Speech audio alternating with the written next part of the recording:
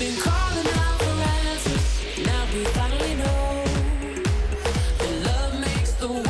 La deschiderea restaurantului lui Cătălin Scarlătescu am întâlnit-o și pe viitoarea mămică Andreea Antonescu. Cum decurge sarcina? Foarte bine, mulțumesc și Dumnezeu foarte bine.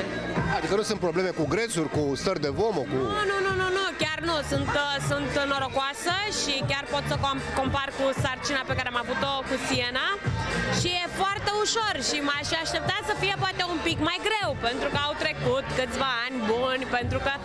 Dar uh, e foarte ușor, sunt super mândră de tot ce trăiesc în momentul ăsta. Andreea Bolan a botezat-o pe Siena. E în calcul să fie nașa copil și celui de-al doilea copil? De data aceasta vor fi alți nași. Vei naște în, uh, prin cezariană sau... A, nu știu, habar nu am. A, sunt luate în calcul ambele variante, atât natural cât și cezariana. Siena acum a primit vestea că va avea un frățior, o surioară. Este foarte fericită, ea și-a dorit foarte mult și e super încântată și mai zis că mă va ajuta foarte mult. A, da, să vedem. Și acum cum se comportă Siena cu bebelușul?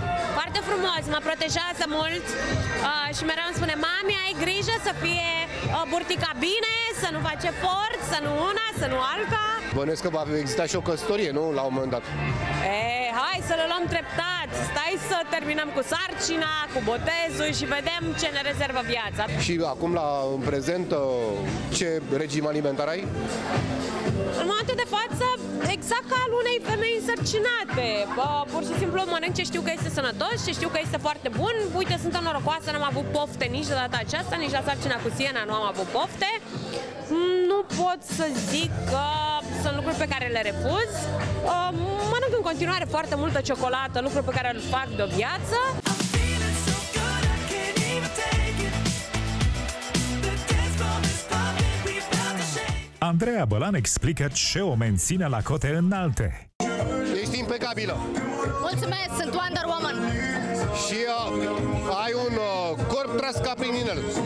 Se menține greu, cu multă muncă, cu dietă, dar se menține. Sport în fiecare zi, Fiecare zi o oră. o oră. A, plus dans, plus dietă. După 35 de ani e mai greu să-ți uh, corpul uh, cum vrei tu și atunci trebuie să intensifici efortul. Și ca dietă, care Păi nu regim? mănânci multe prăjituri, nu mănânci prăjel, nu mănânci carne multă, totul ponderat așa. Scol- Nu mai mănânci? Nu vei fi nașa copilului, nu? Nu, nu, de data asta nu. Dar ai primit această propunere sau? Nu, dar e, și eu am doi copii și am nași diferiți, e normal să fie nași diferiți. Mă gândeam. Păi de ce să pui același naș? Când e bine să-ți mărești familia. De la America Express la Asia Express. Următorul intervievat se poate mândri cu laurii victoriei. Cum se descurcă fata noastră cu celebritatea tatălui la școală, la, în mediul în care se de copii? am mai spus-o, treaba asta cu celebritatea la noi în familia Fodor nu există. Oricât, uh, acum tu o să zici, mamă, ce joacă Fodor Modestia, nu. Noi uh, am impus treaba asta cumva dintr-un crez pe care eu l-am. Uh, asta cu celebritatea e foarte relativă. Fiecare ce simte. Eu nu o simt în niciun fel, nu sunt uh, uh, luat de aburii celebrității în niciun fel.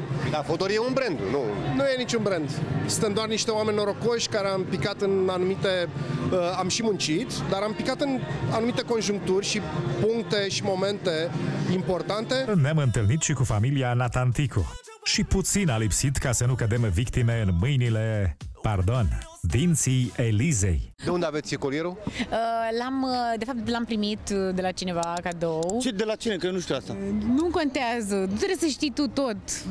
Am vorbit uh, cu soțul noastră și mi-a spus că muncește într-adevăr foarte, foarte mult. Cum mai stă în picioare? Că se vede și pe el că... Oh, păi, dar e uscat, săracul, deci nu mai poate mai are un pic și leșină, deci îl țin, dacă nu se ținea de mine pe cuvânt de la atâta muncă că leșina, Îi dați de mâncare? nu, nu-i mai dau să mănânce pentru că nu pot să fac mai Eu multe mănânc de lucruri la deodată. căței. Eu mănânc de la căței, beau apă din... Deci de-aia, de-aia și vorbesc așa.